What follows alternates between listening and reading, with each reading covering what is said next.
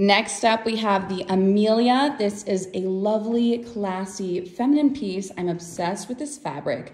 As you can see, we've got a nice floral print throughout. I love the sheerness of this. Let's get up a little bit closer. We have a beautiful sweetheart neckline, one of my favorite silhouettes as well. And these sleeves, let's talk about these sleeves with the ruching. Adds a nice puff, not too big, not too little. Very classic. Also to note on the back, we have a zipper.